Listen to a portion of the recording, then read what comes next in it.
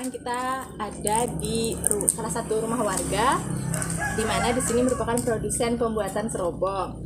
Ya, selamat sore Ibu-ibu. Selamat sore. Ini eh, pembuatan serobongnya sejak kapan ya Ibu menekuni eh, usaha ini? Udah 10 tahun. Sudah lama ya. Iya.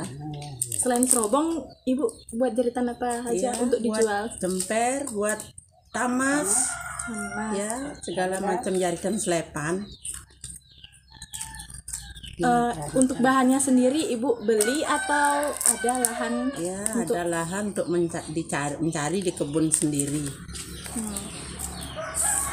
Ibu jualnya ke mana ini ya? Ini ada pengepul yang ngambil ke kampung.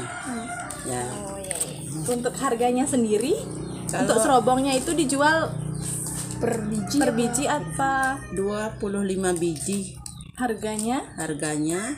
Kalau hari raya 15.000, kalau hari biasa ya 10.000. 10.000. ribu. Tapi semenjak ada pandemi ini apa ada penurunan harga atau ada penurunan harga karena tidak ada yang beli karena corona jadi hari raya ditiadakan gitu ya? ya Jadi sedikit yang beli.